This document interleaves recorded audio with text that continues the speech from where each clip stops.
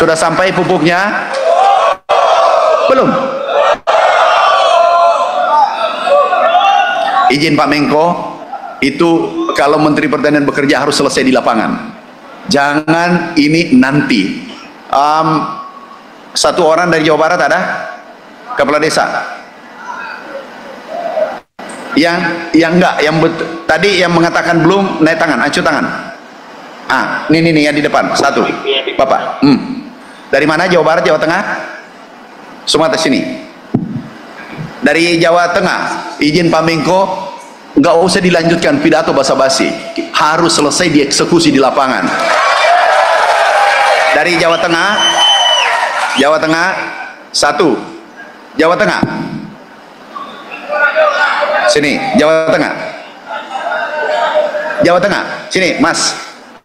Jawa Tengah. Jawa Timur satu. Jawa Timur satu, satu. Pak, siapa namanya? Pak Kepala Desa tahu. Kalau desa selesai masalahnya, negara selesai masalahnya. Benar Bapak Ibu? Nih, izin Pak Menko, kalau saya mengambil waktu dikit. Karena ini tidak terjadwal. Aku tanya ini harus saya beresin. Kalau ini tidak beres, pasti ada aku beresin di Kementerian Pertanian lagi sebentar. Pak, pupuk belum bertambah? Belum, belum, Belum? belum, Belum, belum. Wilayah apa? Saya dari Kepala Desa Sukarena, Kabupaten Musrawas, Provinsi Sumatera Selatan. Pak Dirut, belum sampai. kita harus sama bertang- sama-sama bertanggung jawab. Pak Dirut, izin ke sini, izin ya. Saya ini orang Solo, Sulawesi, halus-halus. Bapak belum ada tambahan pupuk di desanya. Belum, Pak. Pak Dirut, ini kira-kira apa masalahnya? Daerah Sumatera. Sumatera Selatan, Pak, Musirawas. harusnya SK bupatinya sudah keluar pak Berarti tidak ada SK bupatinya. Eh, belum, Pak. Kalau di kelompok tani belum ada. Pak Menko lapor, kita lebih buka-bukaan. Makanya ke depan ini harus satu komando. Tapi komandonya tujuh. Kami kirim pupuk itu sejak Januari ya keputusan. Januari sekarang sudah bulan 11 tapi ini tidak sampai. Tambahan 100%. Tapi kalau bupatinya tidak tanda tangan, pupuk itu tidak ada. Padahal pupuk numpuk. Pak Dirut, pakai mic. Sekarang baru sekarang baru berapa persen pupuk tersalur? Dari 9, maaf kami ulangi, Bapak Presiden Republik Indonesia telah menambah kuota 100 persen. Bukan 50, 100 persen seluruh Indonesia. Yang kedua kemarin, yang kedua kemarin adalah ada utang petani nelayan dengan macet 10 tahun kalau tidak salah itu diputihkan oleh Bapak Presiden. Begitu sayangnya pada petani, pada UMKM, masyarakat kecil itu perintah Bapak Presiden. Ini aku harus selesaikan. Pak, kenapa? Jadi mohon izin Bapak eh, SK dari Gubernur dan Bupati seharusnya sudah selesai pada bulan Juli semuanya Tapi- Dan ini yang saya belum tahu seharusnya yang dari Pak, bisa nggak ditelepon langsung? Siapa uh, distributornya sana? Bupatinya tahu? Bupatinya lagi proses pilkada. Oh proses pilkada Pak Menko inilah dampaknya tidak diturunkan itu biasanya pupuk. Ini pupuk tidak boleh dipolitisasi. Ini kepentingan rakyat kecil. Oke? Coba dicek Pak Dirut supaya selesai. Maju. Insya Allah aku selesaikan. Jangan you pulang. Kalau perlu berkantor di sini. Kalau saya tidak beresin. Pak masalahnya di daerah mana? Gak ada sama. Saya dari Kabupaten Cilacap. Oh dekat nih. Nggih. Sampai hari ini kami belum menerima informasi bahwa di desa kami itu ada bantuan pupuk. Bapak ada HP, Ada. biasa chat-chat Dengan ke mana ke mana pun. kami belum pernah. Tidak. Enggak pernah lihat di situ bahwa pupuk sudah ditambah 100%. Belum ada. Pak Pak Dirut cek langsung. Bapak Cilacap Pak, bupatinya Cilacap cek langsung manajernya di sana. Di mana masalahnya? Bapak Saya Kepala Desa Bojong Merebet Kabupaten Purbalingga. Ah, sama. Oke. Ya. Bapak, Enggak, gini Pak. Jadi ada satu permasalahan sistem mendistribusikan lewat KUD. Kemudian oleh kelompok tani diberikan satu RDKK. Ternyata perubahan kuota dari petani kepada aturan yang sudah ada sekarang tradisi petani biasa menggunakan satu hektar 300 kg. Tapi udah stok- udah gini, udah. yang paling mudah apa? Ya, kesulitannya sampai hari ini mau tanam jagung nggak jadi karena pupuk belum ada tersedia. Jadi kuota masih kurang. Pak Pak Menko bisa bayangkan, maaf, untung menterinya agak tegas. Itu di BUMN, terus ini di gubernur, ini di bupati. Kapan sampainya ke petani? Beri satu komando, kami yang tanggung jawab. Itulah kemarin perpres eh, kita, Pak Menko. Oke, Bapak. Dari Ponorogo, Pak. Dari- Nah, telepon salah satu di antara dua Pak manajer. Kenapa manajer? Sudah saya telepon Pak SK-nya kalau Cilacap sudah keluar yang dari di Sumatera sudah keluar dan saya, dan saya tanya ini. Jadi mohon izin Pak, kalau stok pupuk ada 1,7 dan Bu. harusnya sudah eh, sepanjang SK-nya kenapa ini tidak bisa ngambil pupuk? dari desa Cilacap. Cilacap. Coba manajernya. dari Desa Beringinan, Jambon Merogo, Pak. Ah, Kasusnya hampir sama. Sama, oke. Gini, nanti adalah menggunakan KTP sudah bisa ambil pupuk. Dan itu bebas. Enggak, enggak dihalangi. Kecuali untuk perusahaan enggak boleh. Ini untuk petani Indonesia dan sudah ditambah 100%. Pak, Terima kasih. Cilacap Pak, dicek langsung supaya kita ada suruh bicara apa adanya manajernya. Terima kasih Bapak. Bapak Saya Pak Matahari, Kepala Desa Bukor, Bapak. Bogor. Bukor, Apa itu? Kecamatan Uringin, Kabupaten Bondowoso, Bapak, di ujung timur, Bapak. Oh, aku tahu. Jawa Timur. Bagaimana Nah, apa masalahnya? Nah, masih sampai saat ini eh, kita masih belum tahu kalau ada tambahan 100% Bapak. Namun pada hari ini eh, di Kabupaten Bondowoso sedang perbaikan ERDKK Bapak. Ini yang dilakukan oleh PPL di tiap Pak, desa Pak di Dirjen, Pak Bondowoso. Dirjen, Dirjen PSP sini. Coba bayangkan Pak, birokrasi kita satu tahun tapi pupuk belum sampai di lapangan. Sudah ada belum? Ya Bapak. Sudah sampai pupuk belum? Belum. Sudah sampai belum? Belum Bapak. Jawa Timur. Ini Bapak. Jawa, bagaimana Papua, bagaimana Aceh, Pak, bagaimana Sumatera? Kenapa ini gini? Coba-coba tanya langsung manajernya, kenapa? Saya Pak, Ya, Kepala Desa Tugu, Kecamatan Cimago, Kabupaten Pandeglang, Banten. bagaimana Pak? Saya, kami merasa kesulitan untuk mendapatkan pupuk. Bukan ada tambahan atau belum? Belum ada. Banten Belum. Pak, itu dekat situ. Kesusahan Pak, kesusahan mendapatkan pupuk sampai Pak, hari bagaimana? ini. Bapak Ibu, kalau dengar catat rekam suara saya, izin Pak Menko, saya harus izin Pak Menko. Menteri Desa izin. Ka- Rekam suara saya. Kalau distributor permainkan, besok aku cabut izinnya semua. Ya. Aku cabut, kami kemarin di Aceh, Jawa Tengah kami cabut. Izin. Kalau Bapak, Mohon izin Pak Menteri, saya Budi Harto, Kepala Jawa Timur dari Kabupaten Banyuwangi. ada tambahan nggak? Persoalannya begitu kita beli pupuk di kios itu harus pakai RDKK, susah sekali Pak Menteri. Termasuk Dirjen. termasuk Pak Kenapa Menteri, ada RDKK tuh? termasuk Pak Menteri bantuan terkait dengan mesin pompa air, susahnya itu kita beli solar. Jadi mau hidup itu susah cari solarnya Pak Menteri. sini, sini, sini, sini, sini. Pak Munten. Ini, ini, ini, Pak Munten. Kalau ini sudah offside ini, ini nggak boleh kepala desa, bolehlah manja sama saya, tapi jangan seperti siap. ini. Sudah kasih pompa belum? Sudah siap Pak Menteri. Kasih bibit belum? Sudah siap. Gratis kan? Gratis semuanya Pak Menteri.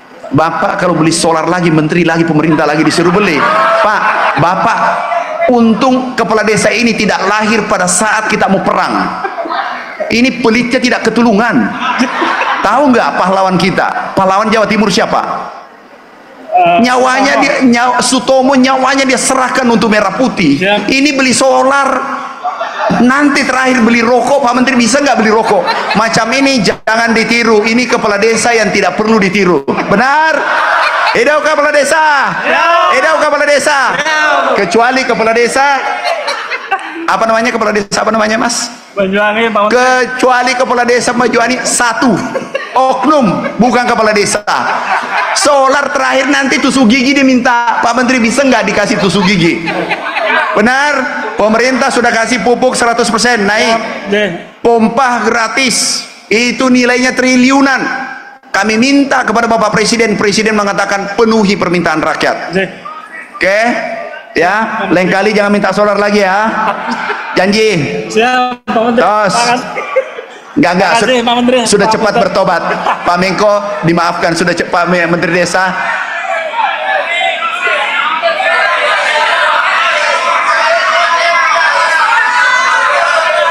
Satu satu satu yang bicara satu satu.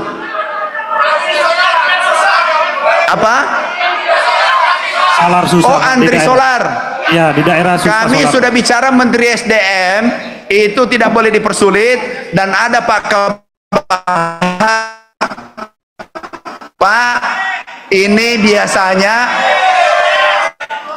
beli solar susah katanya ditangkap apa macam-macam. Nanti paparan Pak Kabaharkam ya Menteri SDM sudah keluarkan itu tidak boleh dipersulit untuk solar Terima kasih Pak Menteri Desa. Ini ternyata kalau tidak ketemu kepala desa, bisa nggak kita rutin ketemu kepala desa? Bisa. Bisa. Mau? Mau. Pokoknya kami bersama kepala desa merah putih berkibar. Pak, sudah dapat jawabannya? Eh, Enggak, enggak, enggak, enggak. Satu saja, apakah kalau manajer Bapak salah, itu yang dicopot, Pak? siap. Kalau direktur saya salah, aku copot sebentar. Kalau distributornya salah, itu yang diberhentikan dicabut izinnya. Itu tiga, tidak mungkin semua tiga-tiga salah. Karena banyak ini kasusnya sama. Siapa manajernya, Pak? Satu aja, Cilacap, tadi Jawa Timur, ya. Bajuwangi, Ponorogo. Yang mana salah, Pak? Semuanya sudah naik SK-nya. Hah? SK-nya dari Bupati semua sudah keluar. Yang terakhir Maaf, ini menurut laporan Bupati sudah keluarkan SK. Berarti ada di distributor. eh, ini semua eh, untuk stok semua ada juga Pak semua. Bapak Cilacap mana? Cilacap sini sini. Kenapa bisa bermasalah? Bapak dengar apa? Kami tidak tahu, Pak. Belum pernah mendengar. Hanya petani itu kesulitan untuk mendapatkan pupuk. Padahal pupuk ada di lapangan nih 1,7 juta. Belum mendengar, kami belum mendengar. Kalau belum masuk di MDKK, ini dibuka sampai tanggal 7 Jadi silakan dimasuk. Iya, silakan didaftarkan. Gini deh, Pak Menteri Desa. Gini, aku janji koordinasi dengan Menteri Desa pasti kami tindaki nanti. Itu sudah pasti. Apakah manajernya atau distributornya? Ya, pasti ada ditindaki nanti karena ini menghambat suasembada pangan. Ini gagasan besar Bapak Presiden. Makasih ya. Makasih. Kartani, petani kami itu kesulitan Karena dalam membeli pupuk dengan menggunakan kartani. Enggak, enggak usah kartu tani tidak berlaku lagi. Kami sudah umumkan KTP. Bapak Ibu, gunakan KTP kalau ada halangi lapor ke polisi setempat atau lapor ke sini. KTP cukup. Ambil pupuk ini.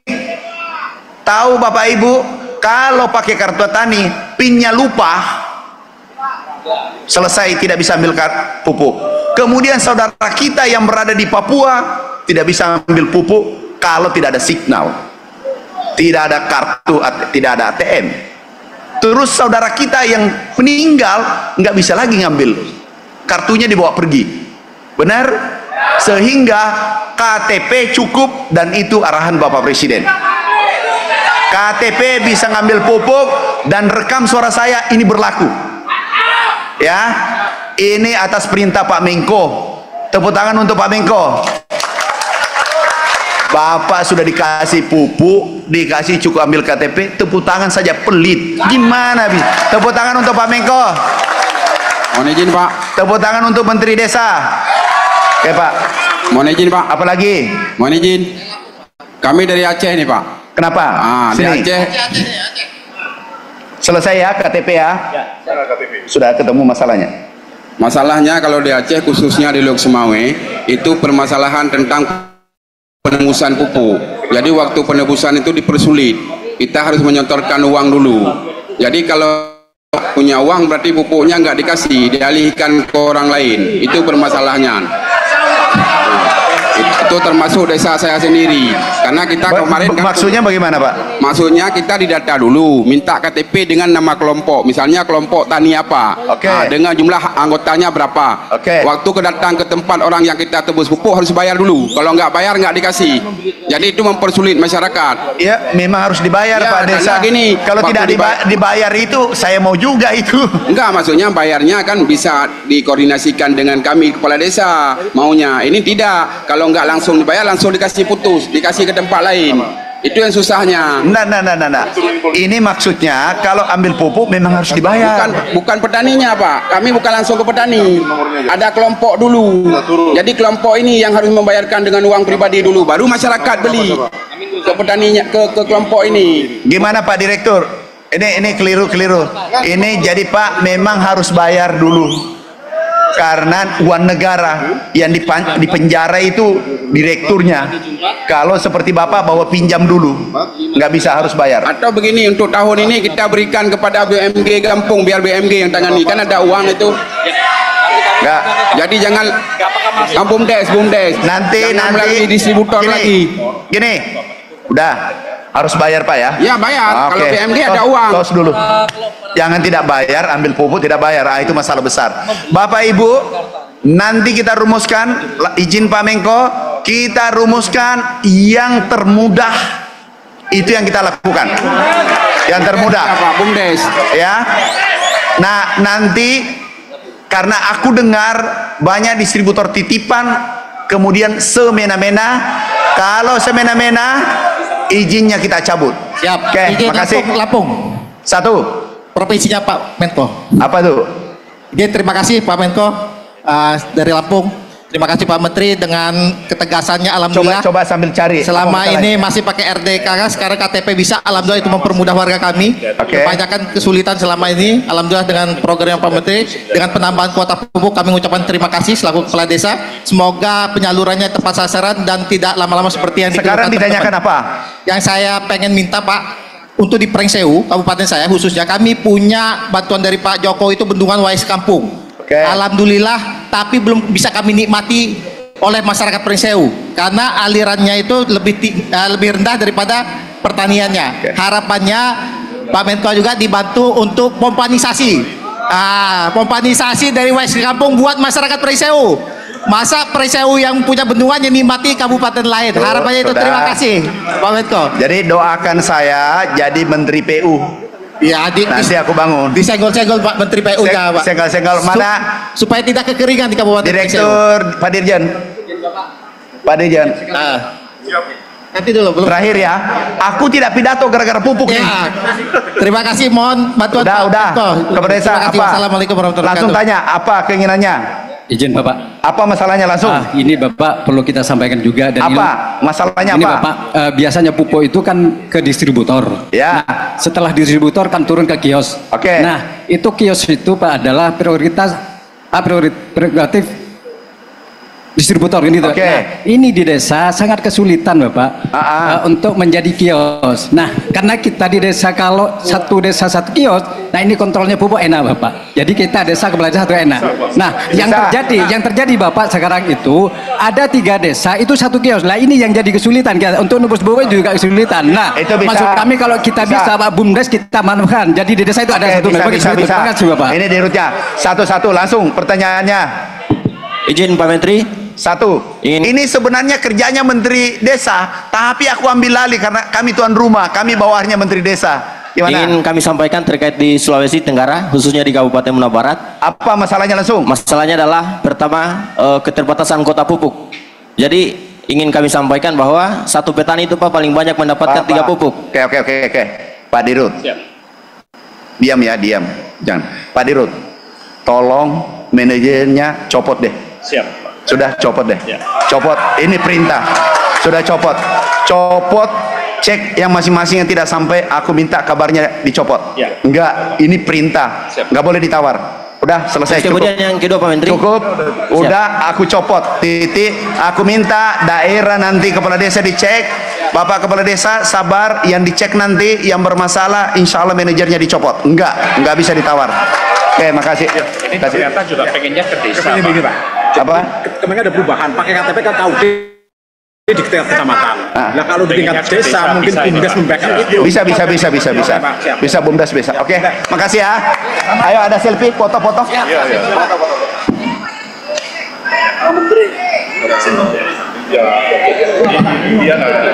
Itu tuh bapak tuh bapak tuh. Siap, terima kasih Pak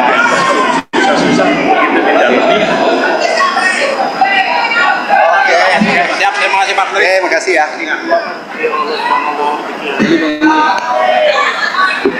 Oke. Ya ikut TPN ini. Nanti dikasih Mas. Oke, makasih ya. Aku lanjut pidato ya. Pak Menteri, Pak Menteri.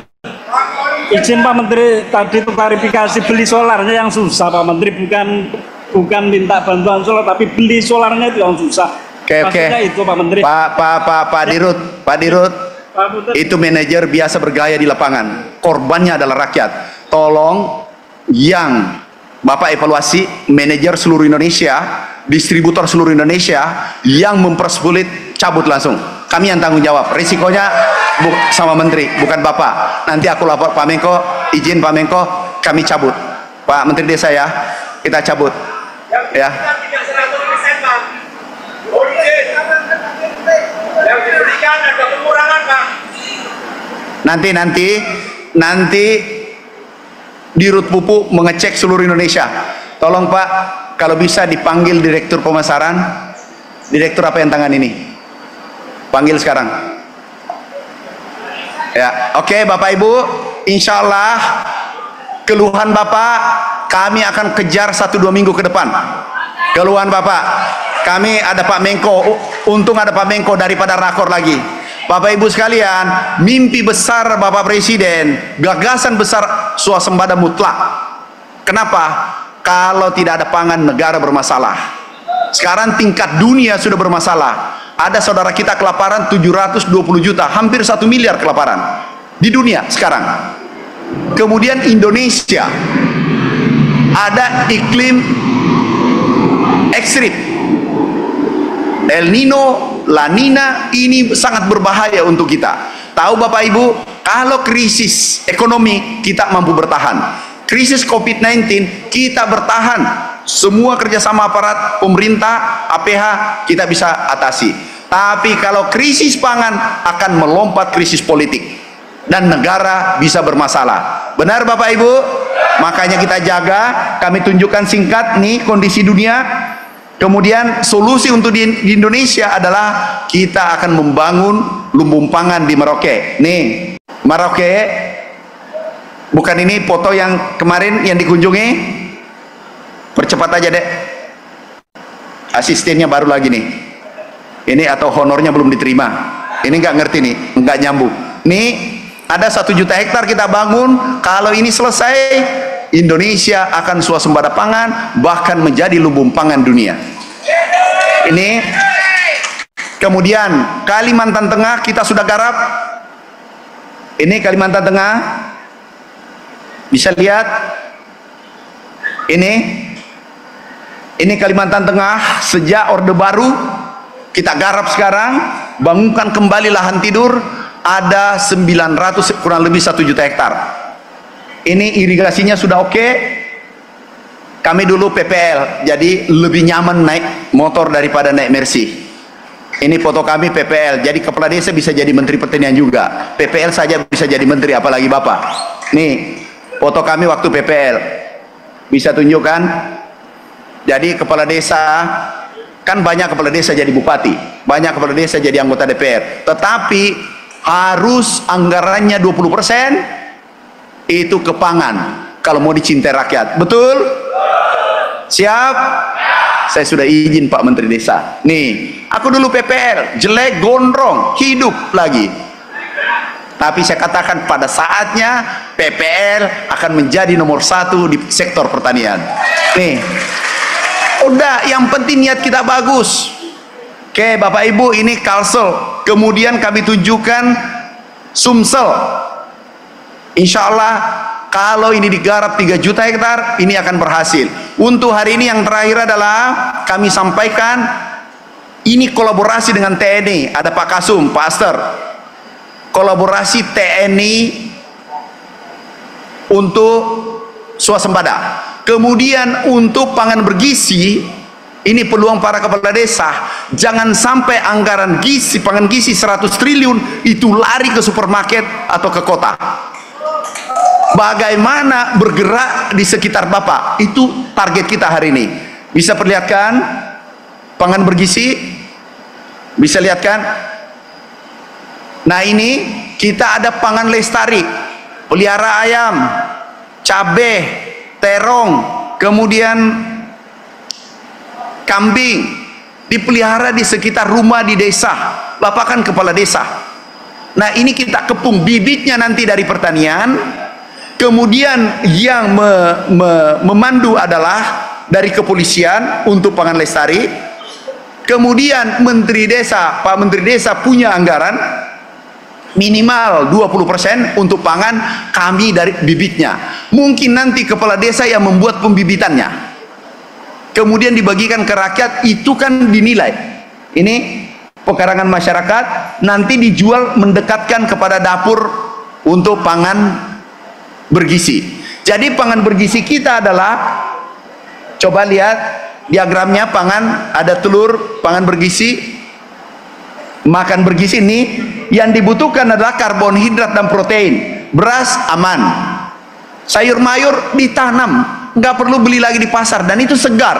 Kemudian minyak goreng kita produsen terbesar dunia. Kemudian telur bapak bisa produksi di sekitar masyarakat kemudian ikan ayam bisa produksi protein ada di sana. Nah, ini nanti kita membuat klaster dan kompetisi antara desa atau antara kecamatan. Kami ikut pada arahan Pak Menko, kemudian sebagai leading sektor adalah Menteri Desa. Nanti kami ikut ditentukan kawasan itu mungkin seribu desa atau berapa desa se-Indonesia satu desa ini itu menjadi gerakan dan nantinya kemudian desa berikutnya dan seterusnya Kemudian kalau ini kita target 50% 40% Indonesia kekuatan ekonomi luar biasa. Mimpi kami adalah anggaran pangan bergizi 100 triliun, anggaran pertanian dengan pupuk 100 triliun ini bergerak di desa, jangan kembali ke kota. Jadi nanti pangan bergizi beli ayam, beli di masyarakat. Di mana nanti ada dapur di situ harus disiapkan bahan bakunya. Yang siapkan mengontrol adalah kepala desa kami nanti yang menentukan titiknya adalah Pak Menteri Desa atas saran Pak Menko kami kita bergerak bersama-sama. Tetapi diayomi oleh polisi. Bahkan Pak Kapolri sudah sampaikan ada nanti uh, kompetisi antara Polres. Jadi ada desa binaan jadi anggarannya Bapak Kepala Desa nggak diperiksa lagi kenapa? ia membantu polisi benar nggak Bapak Ibu? Setuju?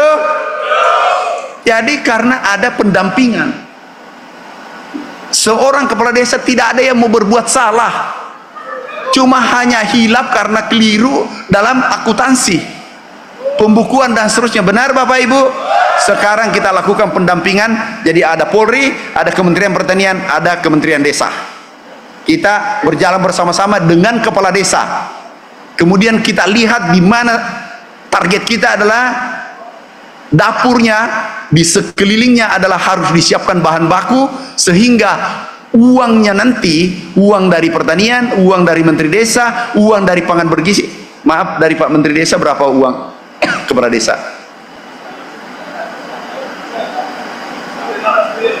Seluruh Indonesia 16 triliun. Nah dari pertanian, dari pangan bergizi, jangan uang ini lari ke kota. Kami ingin bergerak di sekitar kepala desa uang yang nanti digunakan untuk pangan bergizi untuk anak-anak kita. Mimpi kita anak kita tidak stunting anak kita tidak anak-anak kita cerdas ke depan. Kami lihat negara lain baru pulang dari Vietnam kami dari Amerika kami dari China kita melihat negara sana itu sudah 30 tahun yang lalu minum susu makan bergizi sehingga pemain bolanya tinggi-tinggi. Tingginya 180 Cukuplah kita tinggi hanya 165, 170. Generasi kita harus menjadi generasi emas yang bisa melanjutkan pembangunan sehingga Indonesia akan menjadi negara superpower nantinya. Terima kasih. Wassalamualaikum warahmatullahi wabarakatuh.